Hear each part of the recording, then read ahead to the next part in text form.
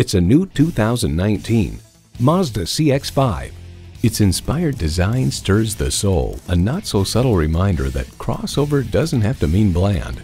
It's equipped for all your driving needs and wants. Automatic transmission, dual zone climate control, streaming audio, front heated sport seats, doors and push button start proximity key, external memory control, aluminum wheels, wireless phone connectivity, and inline four-cylinder engine. With Mazda, driving is what matters most. See what it can do for you when you take it for a test drive.